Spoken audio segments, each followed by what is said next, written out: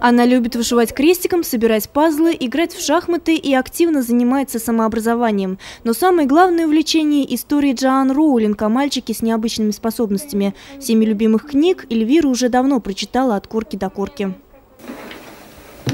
Вот все книжки.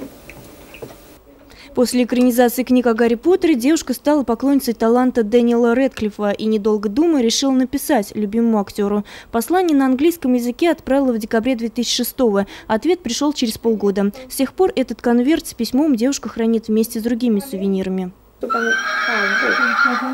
На свои увлечения Эльвира тратит немало свободного времени, но об учебе тоже не забывает. Оценки только хорошие. Учится девушка по состоянию здоровья дома. Этот учебный год последний, и пройдет он по системе дистанционного образования. Мне кажется, это очень хорошо для таких детей вот сделали. И развитие идет больше, чем школьная программа, уже дополнительно идет.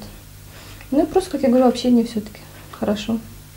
Домой педагоги будут приходить по-прежнему дистанционное образование по семи предметам как дополнительный опыт, знания и науки. Компьютер и выход в интернет на время учебы бесплатные. Пока уроков еще не было, но Эльвира уже сейчас их ждет с нетерпением. Юлия Лемкина, Владимир Кудашкин, Вести, Мордовия.